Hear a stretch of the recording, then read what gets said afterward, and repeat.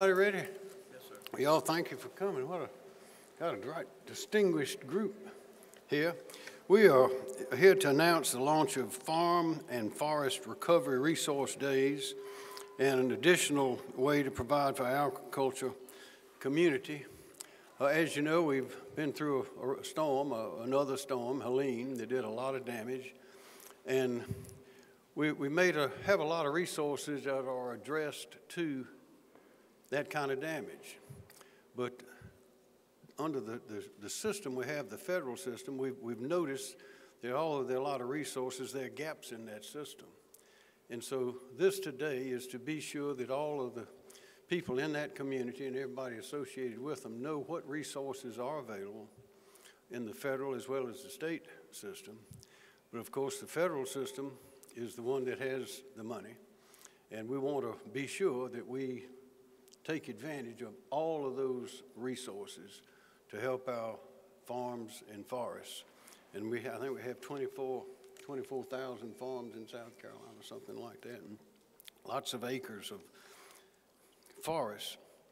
But the Hurricane Delta severe blow to our agricultural industry, catastrophic winds, flooding, prolonged power outages cause extensive damage to livestock equipment, timberland, infrastructure. Many farms have been left incapacitated with downed trees, impassable roads, and other storm-related challenges, making recovery efforts even more difficult. And as you know, one thing about farms, you have, have livestock, you have things living. It's not just buildings, it's things that need to be kept alive, poultry, all sorts of animals. Crops can be damaged as well by drought. We had one of those too just before we had this. And then we had hur- hur- the uh, Hurricane Debbie that came along, and this came along. So there are three in a row, and that really put a hurting on us when farmers and foresters were already stretched because of the economic situation in the country and a lot of the inflation. But the, we had trees going down that, because the soil was so wet, trees went down and not only knocked down the power lines, usually a limb will knock out down a line, but the tree will knock down the whole pole. So we had people without electricity for a long time, and in the in the forestry and in the in the farm community, that is a triple disaster because you have to have uh, electricity. You remember we had filling stations, convenience stores that couldn't pump gas because they didn't have any electricity. That was something that was, we don't see very often.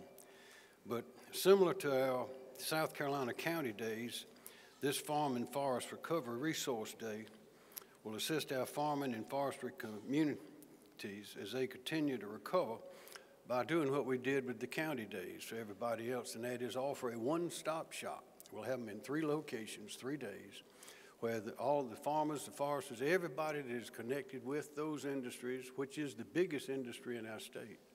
It's the biggest one, followed by manufacturing and tourism. But if, if the agribusiness industry in South Carolina goes, then we're all gone. So we have to be sure to protect that. So that's what we're doing. These days, we'll have everybody there. And we got this idea, where's Brett Howard from FEMA, when we were working on that around the clock. And he had helped organize such an event in Florida previously. FEMA does not deal directly with farms and foresters, deal with everything else in providing funds. But they know how to organize, and they did that in Florida. So he has helped us and brought his team to help us organize all of our team, and everybody's on it, to be present at those three locations to provide whatever information and assistance, help with filling out forms and getting information for our, that community, all of those families. November 15th at USC Aiken from 2 to 7 o'clock. November 21, Greenville Technical College from 2 to 7. And December the 6th at South Carolina Farm Bureau Federation annual meeting, which will be in Myrtle Beach from 9 to 9 a.m. to 7 p.m. And also, I have written a letter delivered today to our congressional delegation asking for help the relief funds and assistance provided for farmers and forests are scattered about in various places, and fortunately, we know where they are, but they don't communicate, collaborate, and cooperate as much as they should, or as quickly as they should, although we have a, we have a great team accessing those resources. But what we want to do is something a little more akin to what we do with FEMA, and that is have somebody directing money, direct aid to our farmers and foresters.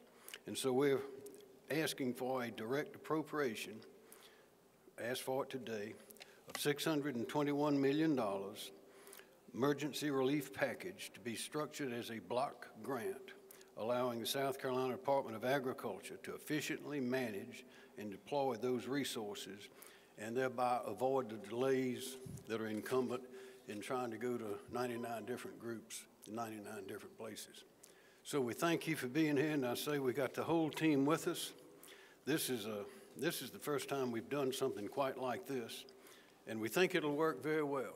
And again, we got great people in South Carolina. We have great assets, and we need to protect the agribusiness industry in South Carolina because it is powerful, it is great, it is growing, and it affects us all and keeps us all moving. I'd like to ask several people to speak. The first would be Commissioner Weathers. Thank you, Governor. And on behalf of agriculture in South Carolina, I just want to thank you for your leadership uh, to put these uh, farm and forestry resource centers together.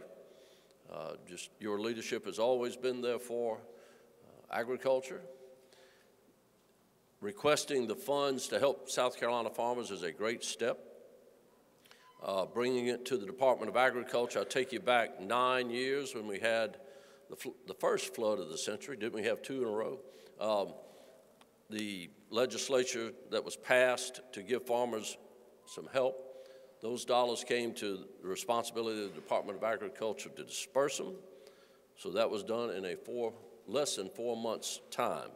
Uh, at that time, it was uh, the crop losses were 300 and something million, and as we'll talk here, these losses are greater uh, than that.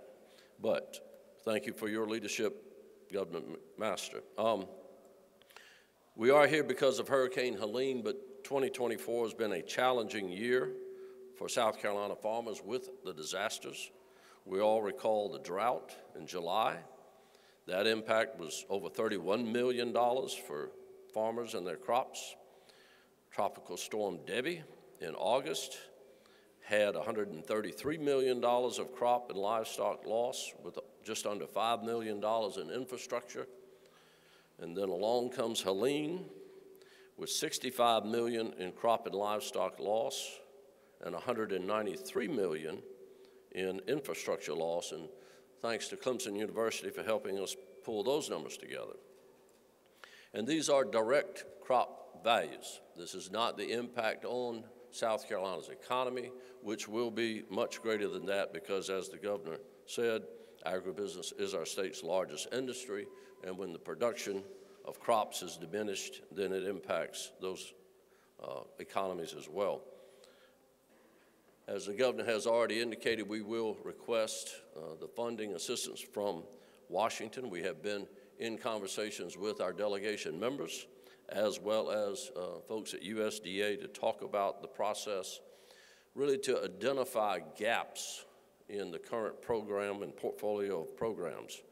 So we want to make sure, for example, let's take pecan farmers, uh, their trees uh, could be covered the crop that they lost is covered, but the income uh, that they'll miss for five to six years while those trees come back into production, there's not a coverage for that. So those types of gaps we want to address. I'll tell you, why we uh, here almost two months later, you know, it's hard to get farmers to stop repairing what they've had damaged to tell us what got damaged. So, uh, and I, as we were making those phone calls, more than one farmer said to us, if I qualify for a dollar, send it to my neighbor in North Carolina.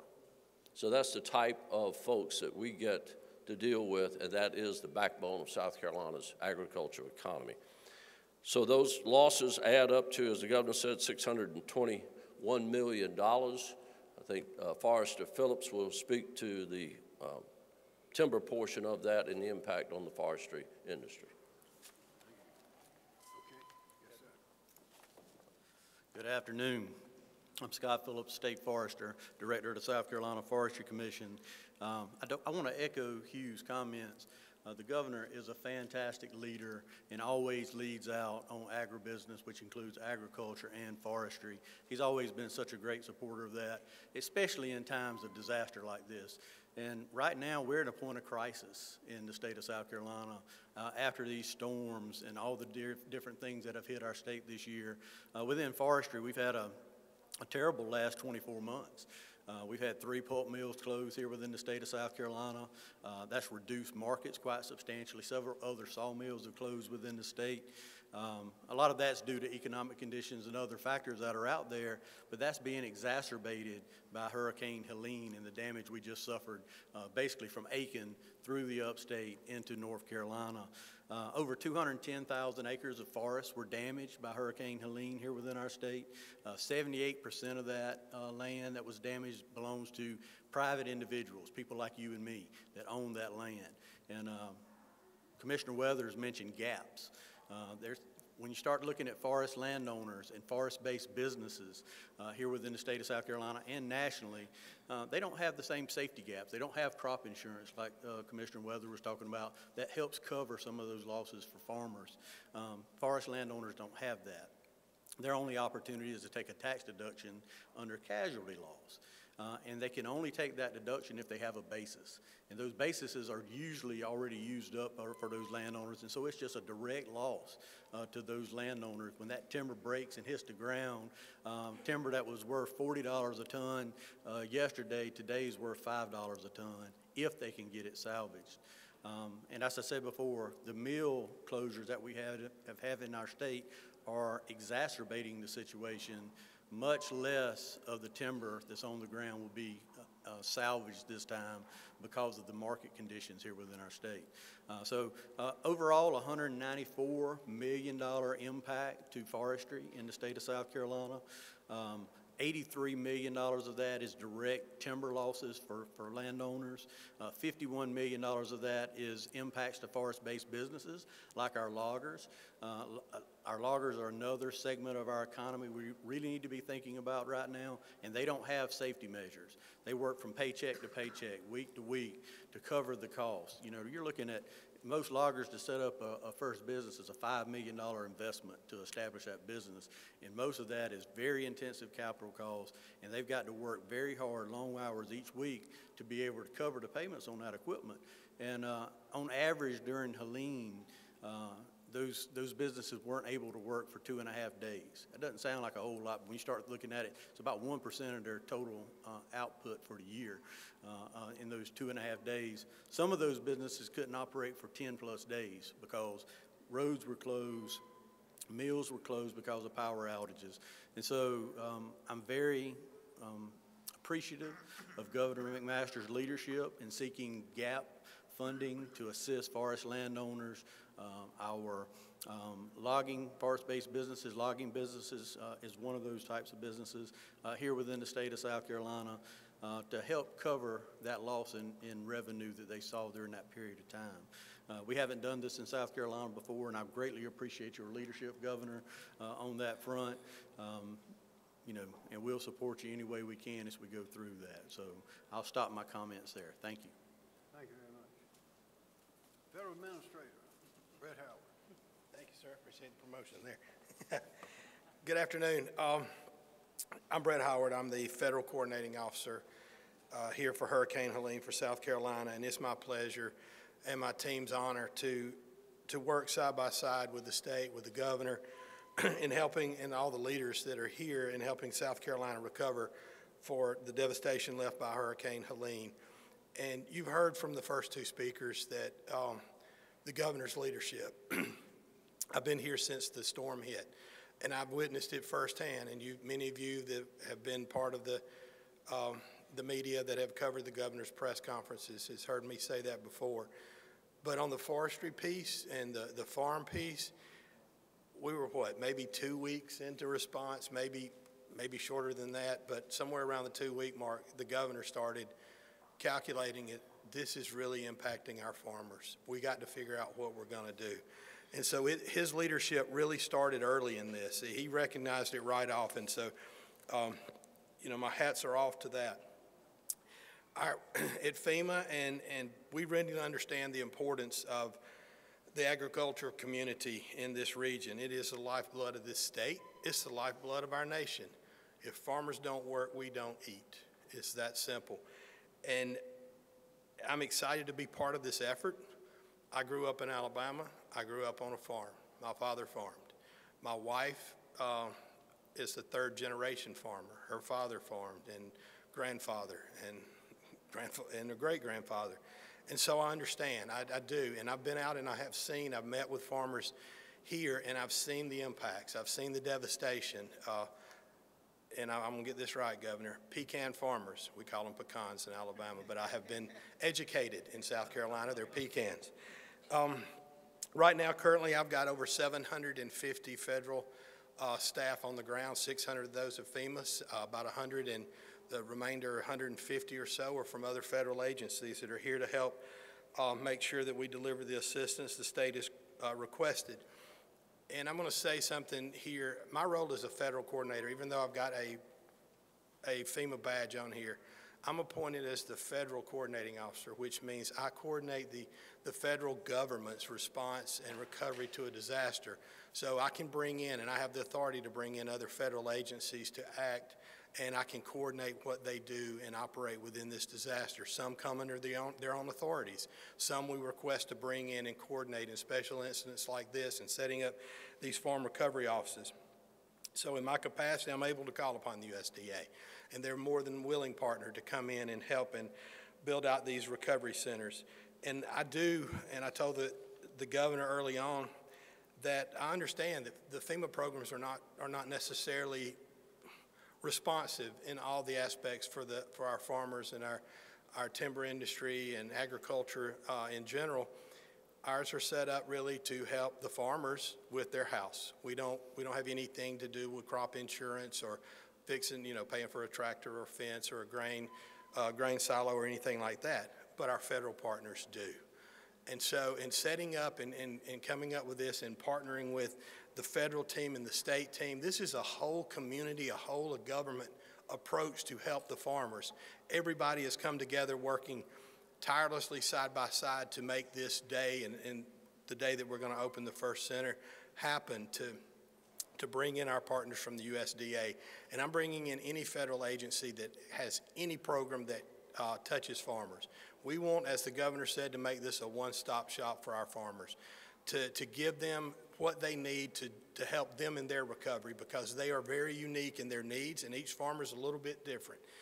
And we understand that. And so we want to meet them, be able to talk to them face to face, be able to sit down and give them the paperwork, show them what they need to do and how they need to do to help them economically uh, recover from, from this devastating disaster. And you've heard the, the numbers here, and they're, they're tremendously large. And they talk about the gaps. These are generational gaps in some of this. The timber industry, the pecan industry, those trees take, those pecan trees that were lost were 40 and 70 years old. You can't restore them tomorrow.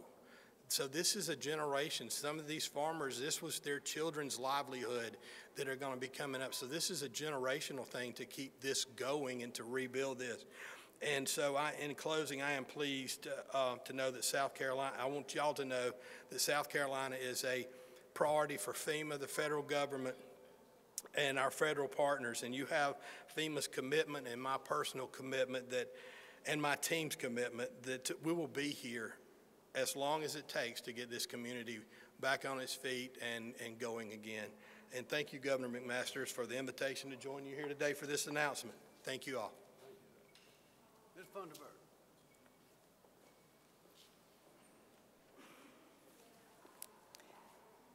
Good afternoon. My name is Laurie Slade Funderburk. I'm the State Executive Director for the Farm Service Agency here in South Carolina. Thank you, Mr. Governor, for inviting Farm Service Agency to be a part of this um, important press conference today. USDA Farm Service Agency is glad to be a partner in the Farm and Forest Recovery Resource Days and to put information in the farmers' hands about the disaster programs that the Farm Service Agency offers. For our farmers and forest landowners listening, FSA has a variety of programs to help your farm or forest operation recover from recent hurricanes. The Farm Service Agency is ready to assist impacted producers, and USDA has authorized flexibility for disaster assist assistance programs to streamline the recovery process to help farmers get the help they need under our programs.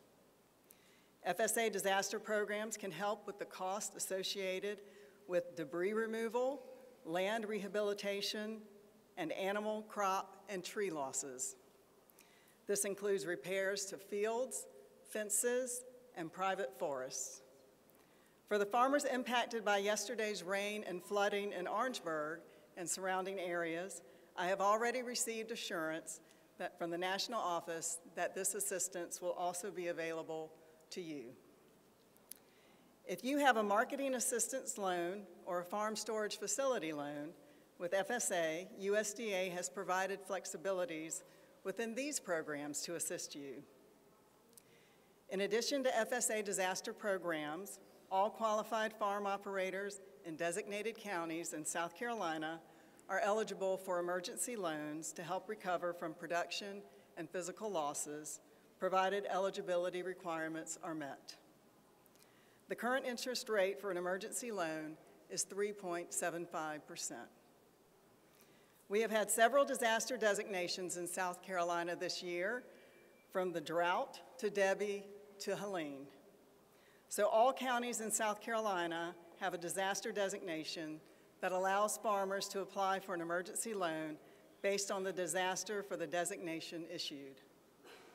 Farmers in eligible counties have eight months from the date of the disaster designation to apply for loans to help cover all or part of their actual losses.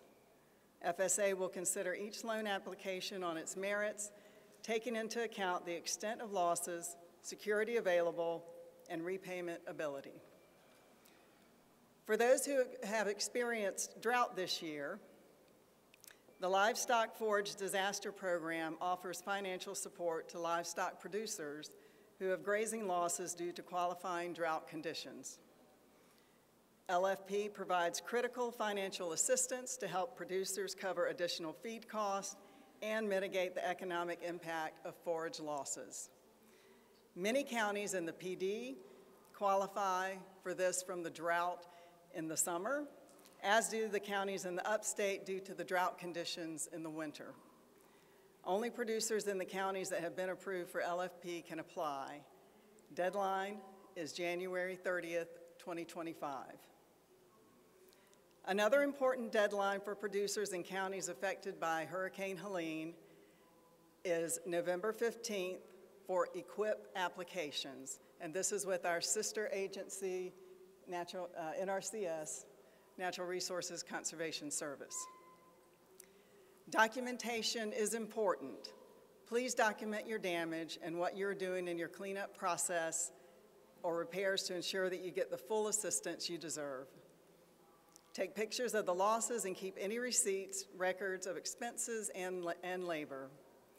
We understand that these have been extremely um, extenuating and stressful circumstances, and that there may be instances where documentation is not possible. Regardless, we at FSA will do what we can to help you access the assistance you need. When you are ready, we are here and ready to assist. You must contact your local FSA office to report all crop, livestock, and farm infrastructure damages and losses.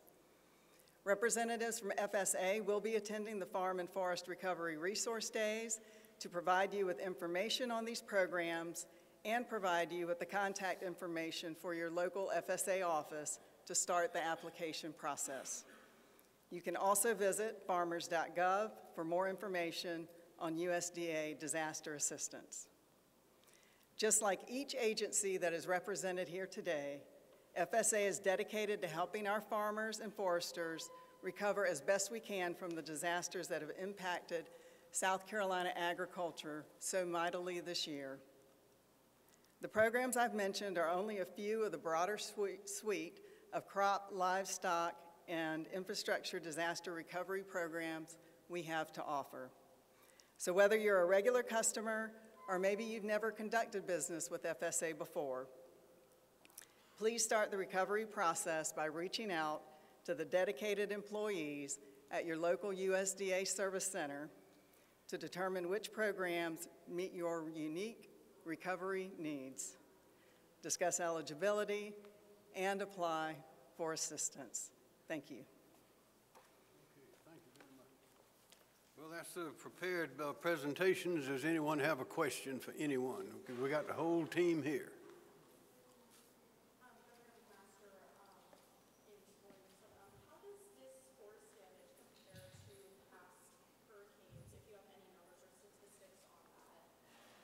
How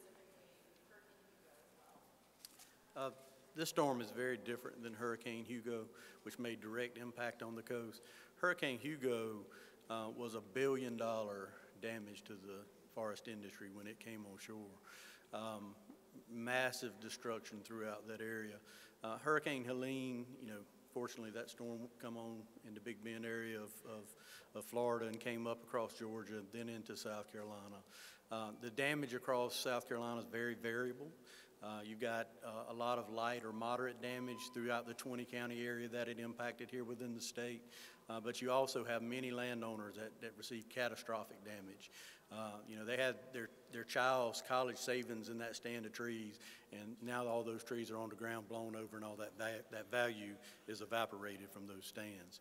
So we're estimating about 17,000 acres uh, will need to be reforested uh, from this storm uh, here in the state. But like I said, uh, it's a, it's a very different um, type of damage than Hurricane Hugo. Anybody else that?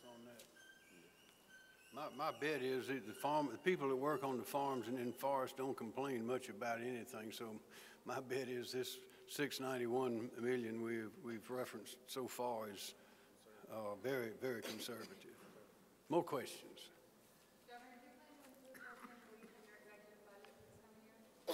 We, go- first thing we will do is see that we get every, we have access to every dollar that we've already been paying into the federal government for all these years in federal relief funds. That's, that's the first step. And then we'll, we'll see what else we need to do, but that's the first place we need to go. Any more questions? I'm, I probably, uh, will likely recommend a sum of mon- money, maybe up to a hundred million or so for this, but it might not be that much, but we need to, to exhaust the federal resources first, because we got a lot of other things that we need to spend our taxpayer money in South Carolina on. More questions for anybody?